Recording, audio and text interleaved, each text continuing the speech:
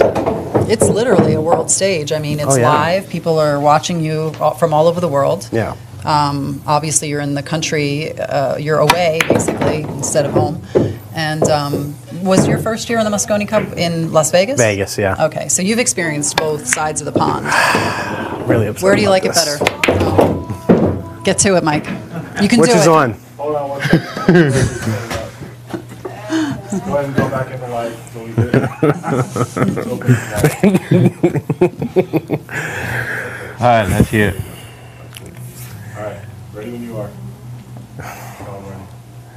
Shane is the best pool player in the United States.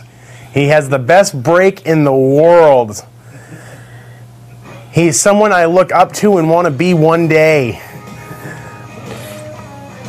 He plays good one pocket.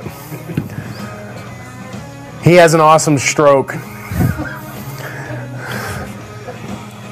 He always picks up the bill when we go out to eat. Gotta love people like that. um, um, yeah, that's it. Good. One more minute. no, One more 30 seconds. Is that a 30 seconds? I think it was. And you know what? You actually did that without much